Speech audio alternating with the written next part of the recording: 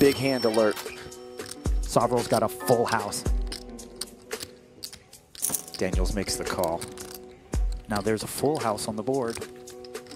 Soverel waiting on Daniels' move. Surely he's not going to take a risk here. What? He overbets for 4,000, nearly four times the pot size. Daniels must have the 10 to be betting this big. Soverel is in a tough spot. He has a real decision to make. Obviously, it's not impossible. The king's full is beat. Wow. You have quads? I can't remember. That's gonna be a good one for TV.